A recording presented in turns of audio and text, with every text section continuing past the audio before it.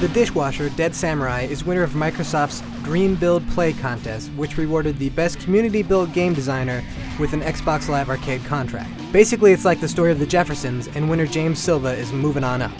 The Dishwasher is a nonsensical hack and slash game that seems inspired by the behemoth's Alien Hominid. You play a former dishwasher who is now a samurai who, I guess, is dead. It's hard to say as the story is told through blurry comic book strips with obscure narration. Not that the story really matters for a game like this. The visual style of the dishwasher is certain to catch people's eyes.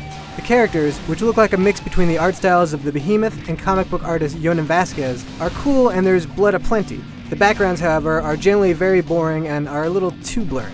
While this is a fairly standard button masher with extra coats of blood, there are some very bizarre additions. You can gain amulets to allow other friends to join in on your single player game as a variety of odd entities, including a scythe wielding spirit and a guitar. Yes, a guitar. You even need to use a guitar peripheral to play, dealing damage as you rock out.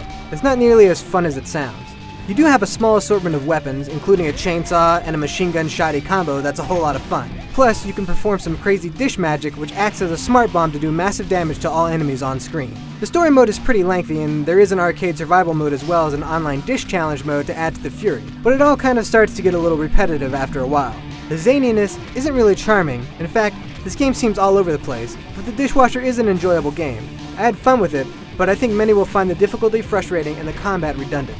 If you enjoyed games like Alien Hominid and Castle Crashers, you may want to give the dishwasher a go. Just be warned, this game isn't nearly as good as those two.